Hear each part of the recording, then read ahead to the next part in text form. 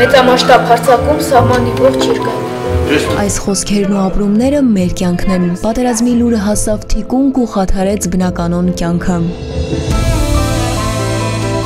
Հարսանիք թիկունքում պիեսը Գյումրու դրամատիկական թատրոնի բեմ բարձրացավ երկու տարի առաջ եւ այս ընթացքում 65 անգամ հանդիսատեսին ներկայացվեց։ Բեմադրությունը այնքան պահանջված էր, որ ստեղծագործական խումբը որոշեց ֆիլմ նկարել նույն դերասաններով։ Ամեն ինչ արել որ այդ ներկայացման համն ու հոտը չկորցնենք եւ հենց այդ էր երևի գլխավոր խնդիրը, որ մենք նույնիսկ համարցակվեցինք ֆիլմը նկարանել բեմի վրա։ Չնայած կարծում եմ ֆիլմը նայողը այդքան էլ չի զգա այդ տարբերությունը,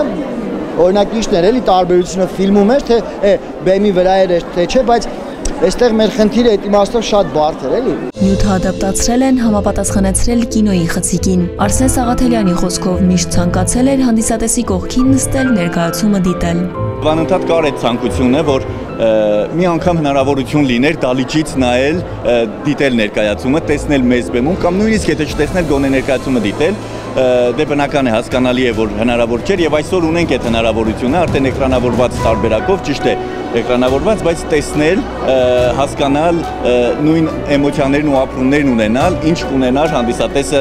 դալիճում ներկայացումը դիտելիս մենք տարիներ շարունակ ստեղծագործել ենք մի միջավայրում այլ ֆորմատով ներկայացումների ֆորմատով եւ ստացվեց այնպես որ նույն այդ միջավայրում հիմա ստեղծվում է մի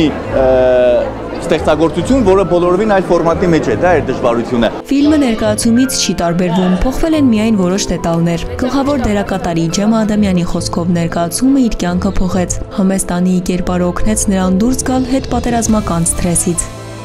մենք շատ չենք հեռացել ներկայացումից, էկրանավորումն անելու համար պահել ենք թատերակայնությանը պատկանող բոլոր օրենքները եւ կինոյին պատկանող բոլոր օրենքները եւ ստացել ենք միքս։ Բայց փոփոխման չի ենթարկվել ոչ սցենարը, ոչ դերակատարները։ Փոփոխման ենթարկվել է դեկորը, հագուստը,